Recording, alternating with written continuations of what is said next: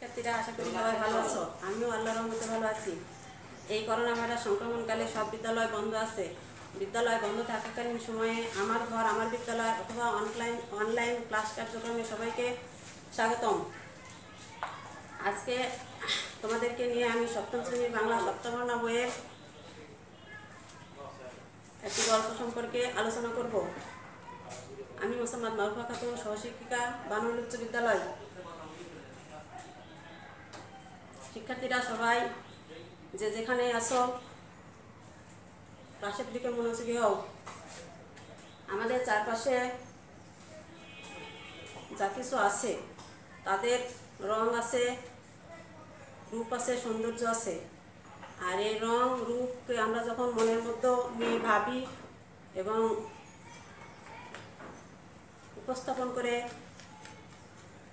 কিছু আঁকার চেষ্টা করি তখন সেটা হয় ছবি এবং রং। এরকমই একটি গল্প হচ্ছে ছবির রং, লিখেছেন হাসেম খান।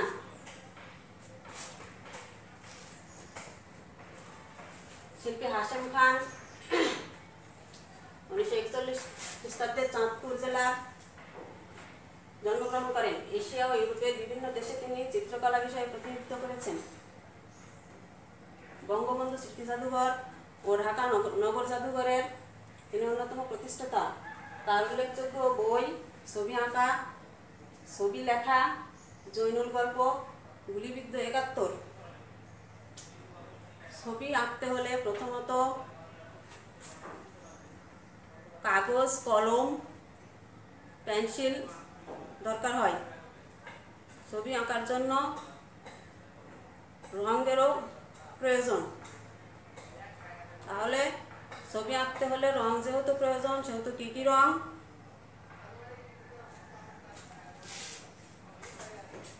হলুদ, নীল, লাল, সবুজ, কমলা, এই রঙগুলো যখন ছবিতে প্রয়োগ করা হয়, তখন ছবির রং উজ্জ্বল হয়।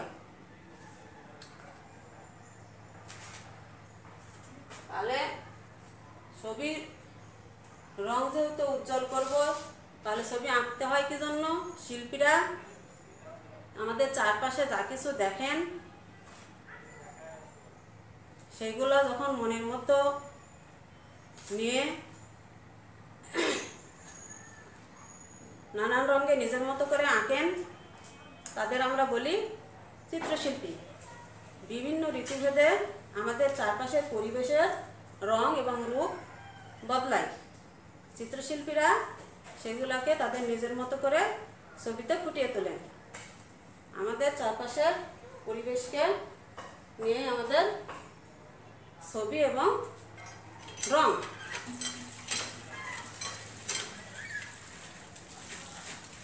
ছবির আঁকতে হলে ছবিগুলোকে সৌন্দর্যমণ্ডিত করা দরকার। এই জন্য হলুদ ও নীল রং মেশালে সবুজ রং পাওয়া যায়। নীল ও লাল রং মেশালে বেগুনি আর লাল ও হলুদ মেশালে কমলা। তাহলে আঁকার ক্ষেত্রে গুরুত্বপূর্ণ আরও রং হচ্ছে সাদা এবং কালো। প্রাথমিক রং হচ্ছে লাল, হলুদ, নীল। মাধ্যমিক রং সবুজ, কমলা এবং বেগুনি। এদের ছবির রং প্রবন্ধে শিক্ষার্থীরা যেটা জানবে এবং বুঝবে লেখক যেটা আমাদেরকে বোঝাতে সাহায্য করেছেন শিক্ষার্থীদের, সেটা হচ্ছে ঋতুভেদে প্রকৃতির বিচিত্র সৌন্দর্যের সঙ্গে শিক্ষার্থীদের পরিচয় করে তোলা যে কোন কোন ঋতুতে কী কী রং ধারণ করে। তাহলে আমাদের বছরে বারো মাসকে রং এবং ঋতুর রং এবং আবহাওয়ার ভিত্তিতে, বৈচিত্র্যের ভিত্তিতে বারো মাসকে দুটি মানে দুই মাস করে ভাগ করে ছয়টি ভাগে বিভক্ত করেছেন। এই যে দুই মাস করে ভাগ করা হয়েছে, এর ভিত্তিতে আমাদের দেশে ঋতু বিরাজমান ছয়টি। গ্রীষ্ম, বর্ষা, শরৎ, হেমন্ত। দুই মাস করে ভাগ করা হয়েছে বারো মাসকে। তাহলে তোমরা এক একটি মাস মানে এক একটি ঋতুতে যে প্রকৃতি এক এক রং এক এক রূপ ধারণ করে, সেটাই আমরা জানব এবং নিজের মতো করে মানে আঁকার কিছু আঁকার চেষ্টা করব। গ্রীষ্ম, বৈশাখ, জ্যৈষ্ঠ, গ্রীষ্মকাল, এ সময়ে প্রকৃতির অবস্থা রুক্ষ থাকে। গ্রীষ্মের পরে আসে বর্ষা। বর্ষাকালে প্রকৃতি নতুন রূপ ধারণ করে। শরৎকালে প্রকৃতি নানা ফুলে সজ্জিত হয়।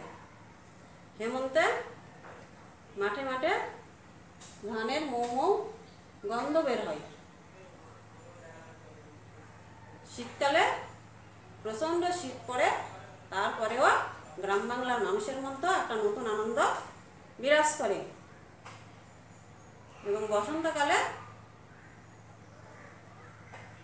শীতের যে রুক্ষ পরিবেশ, শুষ্ক পরিবেশ, এটা কাটিয়ে উঠে বসন্তকালে পাখির কলকাকলিতে মুখরিত হয় এবং গাছপালা নতুন পাতায় ধারণ করে। প্রকৃতি, আমাদের চারপাশের প্রকৃতিটা এই যে বারো মাস, এই বারো মাসে অনেকটা বৈচিত্র্যপূর্ণ।